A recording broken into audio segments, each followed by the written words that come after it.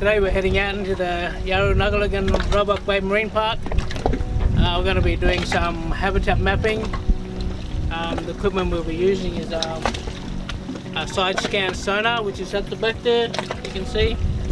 Uh, we dragged that behind the vessel and sort of um, captures everything in a 50 meter radius past that thing, see what's on the floor, and then if we pick up any um, uh, anomalies or reefs or we, what we think is um, objects, we mark it on the computer, and from that uh, we generate a bit of a map, and then we pass that on to um, the next vessel, and the next vessel will come along and um, do drop camera work.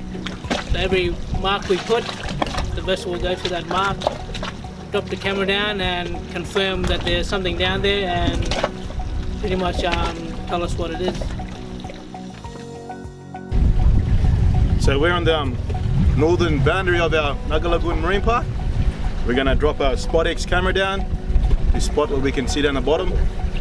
Hopefully uh, we find something interesting, eh?